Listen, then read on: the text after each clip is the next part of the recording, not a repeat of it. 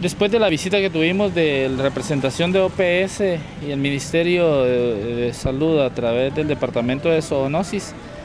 eh, evaluando pues, la cobertura en perímetro urbano, estamos como al 30% y eso implica que tenemos que mejorar esas coberturas porque el riesgo va a ser siempre para la comunidad. Eh, el propósito es que ahorita, a finalizar el año, eh, al menos tengamos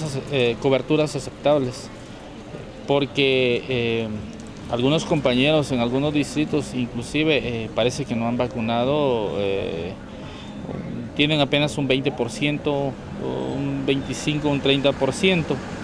Y los lineamientos que se nos han dado pues no van acorde a la programación que nosotros tenemos,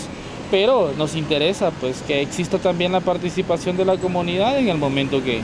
que reiniciemos la vacunación ahorita. Eh, esperamos a final de año pues llegar a un 70, un 75% como mínimo y un máximo siquiera pues al 80%, que eso nos va a garantizar pues que la población en el área urbana eh, va a tener menos riesgo a la enfermedad de la rabia. Sí, tenemos biológico, eh, y tenemos un lote aproximado de 10.000 dosis, que eso es lo que nos va a servir para, para culminar con la vacunación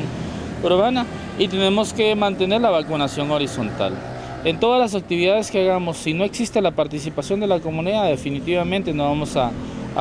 tener mejores coberturas. Y no es tanto la cobertura, sino que el riesgo que hay de la enfermedad de la rabia.